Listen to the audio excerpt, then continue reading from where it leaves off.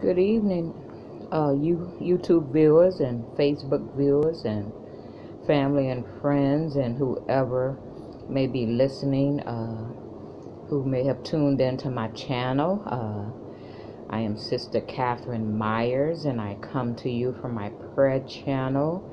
As I've said in the past, this is a channel of sacred prayer where I come before the Lord on your behalf and to pray on various topics. And again if there's any if there's any uh, sickness or disease or any topic you would have me to pray for you please uh, comment below and I'll be very happy and honored to do that. Uh, my my goal and my intent is this just to be a vessel in the hand of the Comforter, the Holy Spirit, to pray for His children.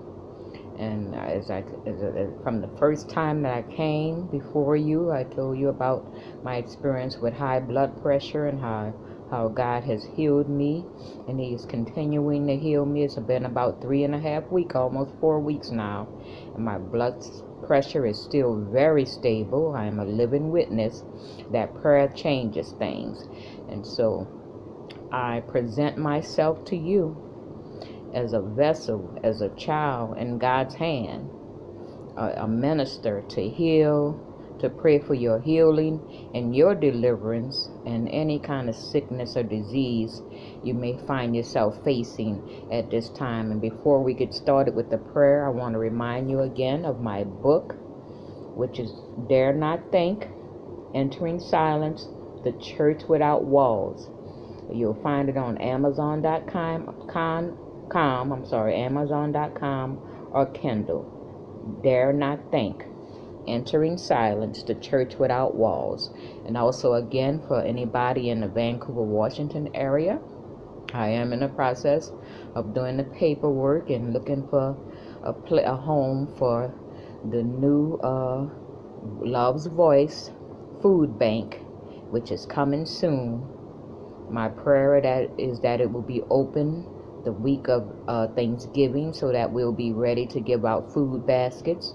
But uh, we're just gonna put keep it in God's hand. I'm gonna do the work that He's He as the Holy Spirit guides, and if it's open by then, then so it is. If I have uh, ten basket baskets to give out, that's what I'll give out.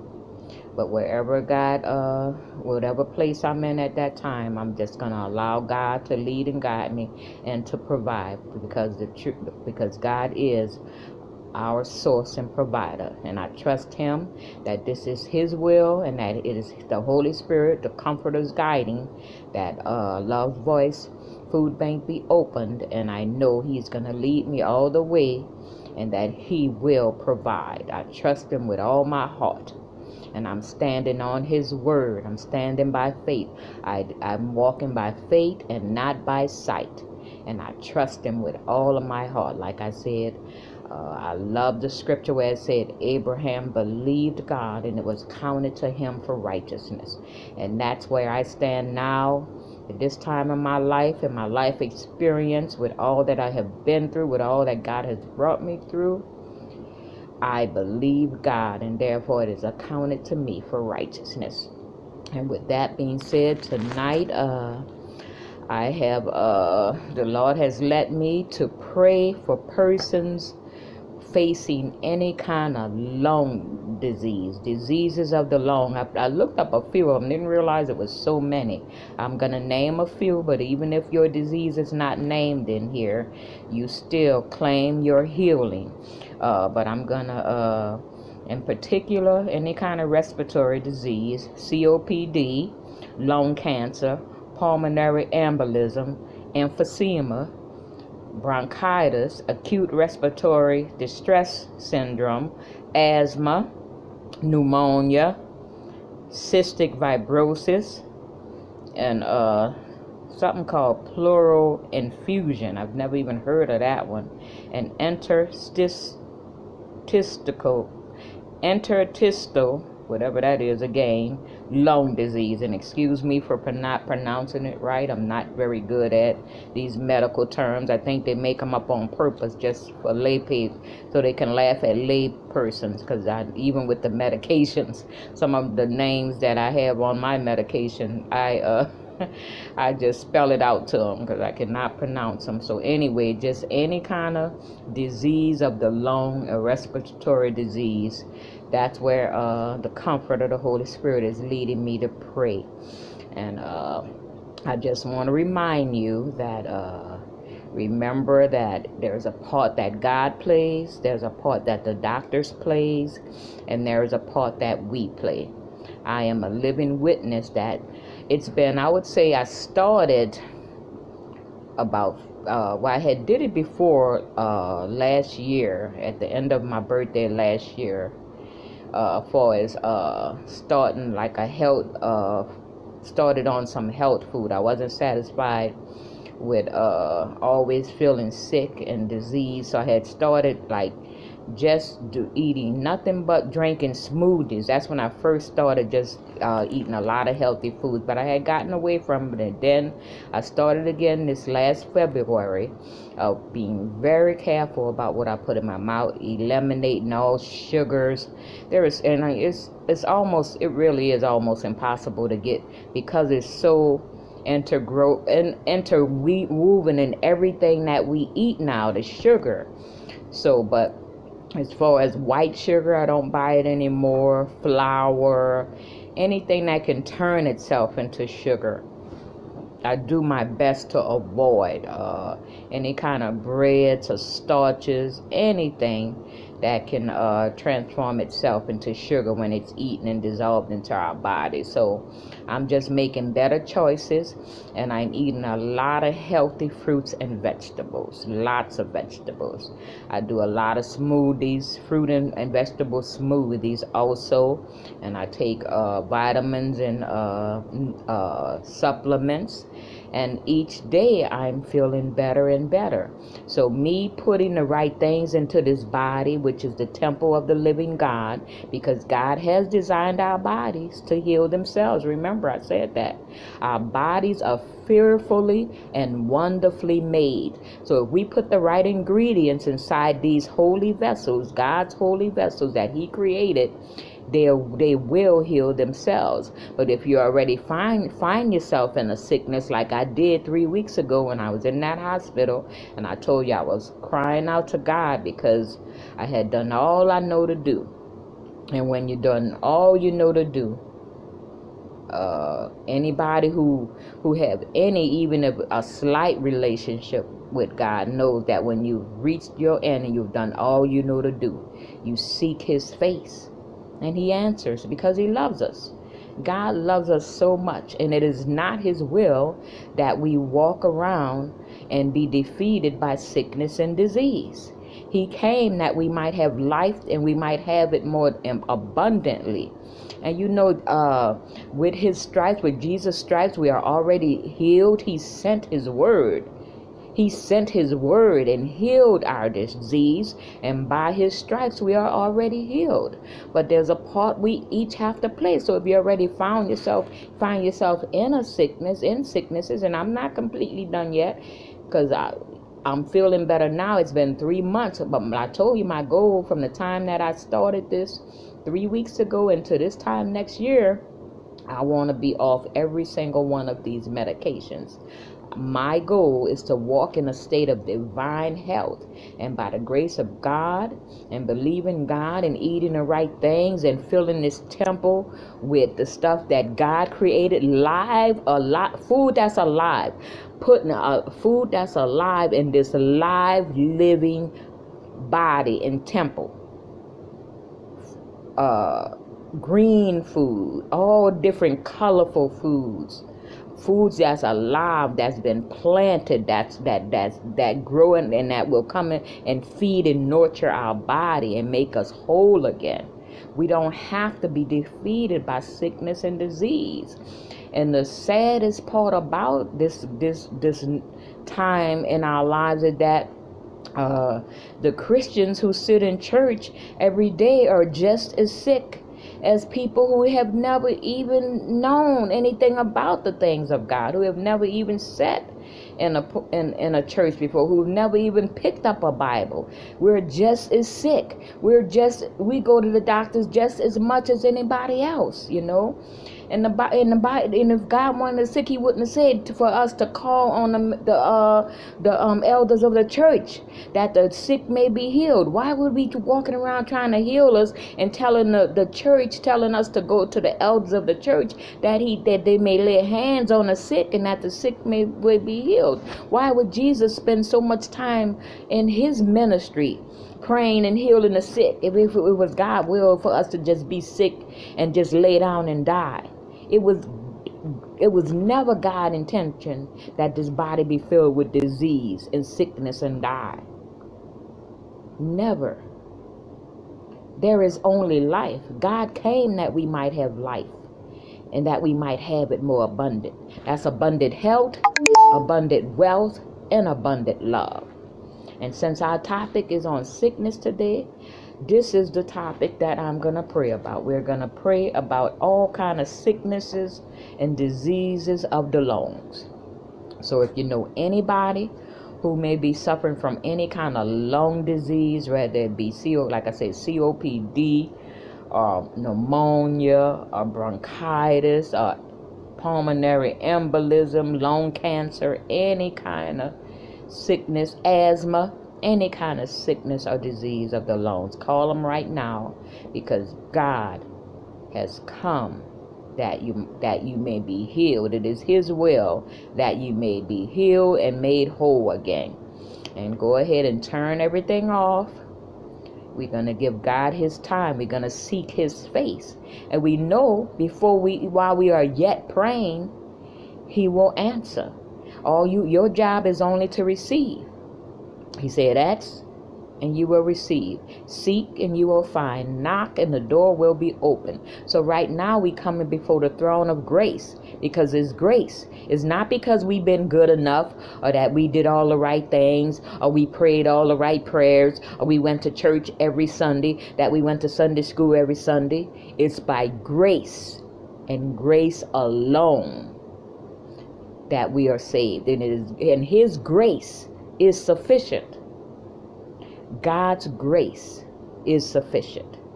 So you come and just ask your Father, fall before His face, seek His face, and He'll answer, for His grace is sufficient. Thank you, Lord. Heavenly Father, I come before you on this beautiful, beautiful Sunday night. Father, I seek your face. I seek your face for your children, for any one of your children right now. And I don't have to know the names, Father, because you know the names. You know every one. You know them so well that you took the time to number the very hairs of their heads. And not one string of hair falls to the ground without your knowledge.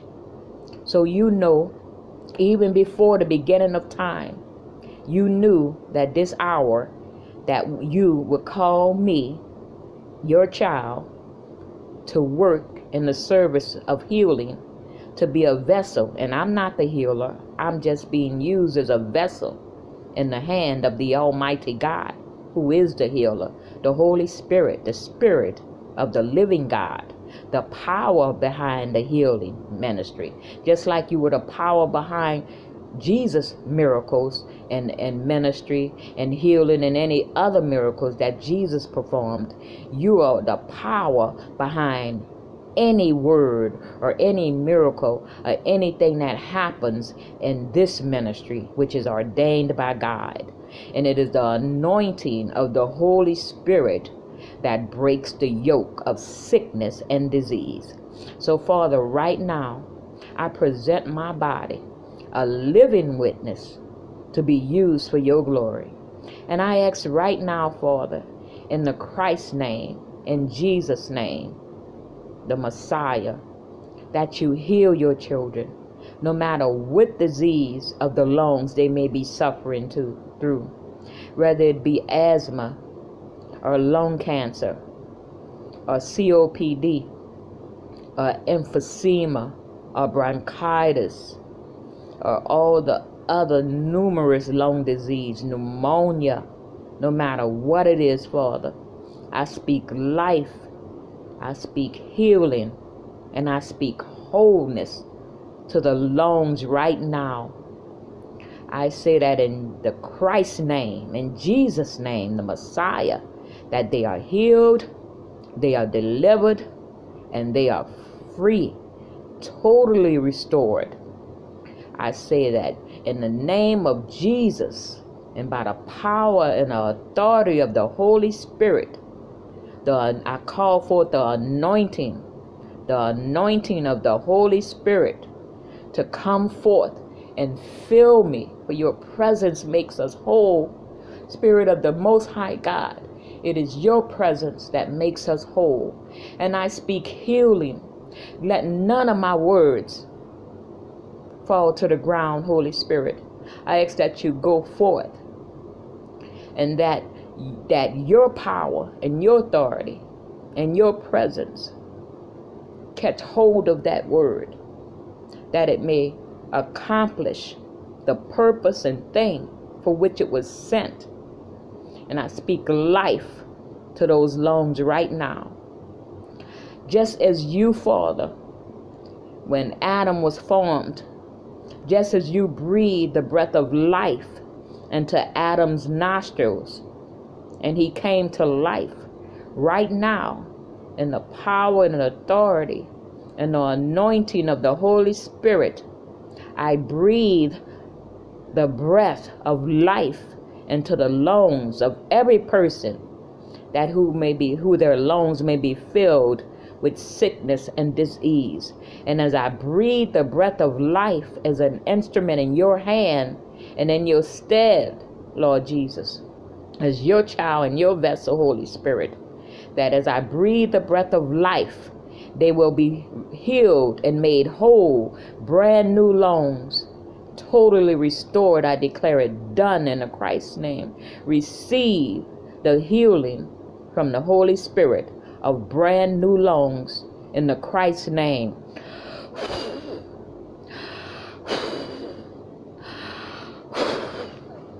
I declare it done. I declare it done. I declare it done. Be whole, be healed, and be delivered in Jesus' name.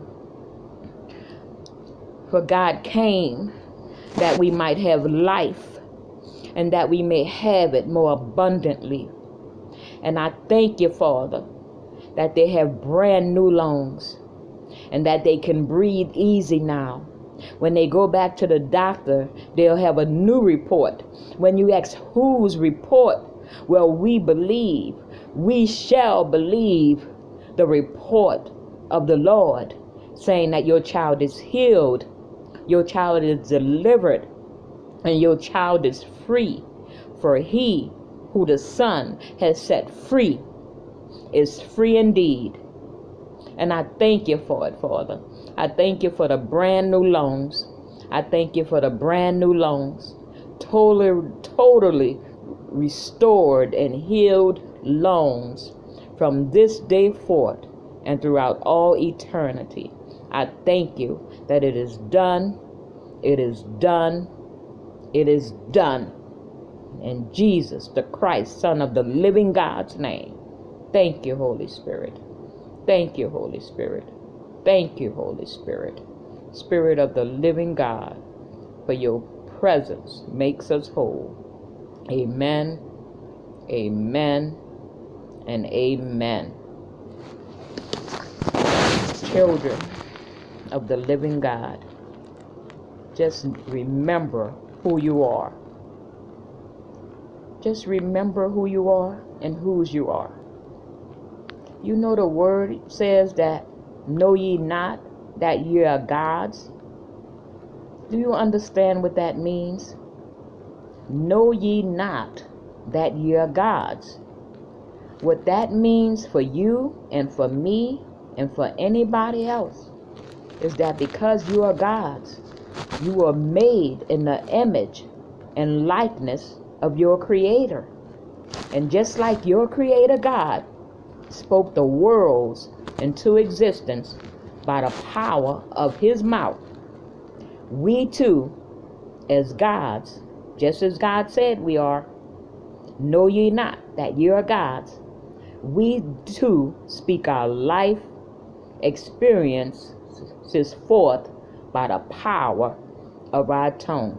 Life and death is in the power of the tongue. Speak words of life.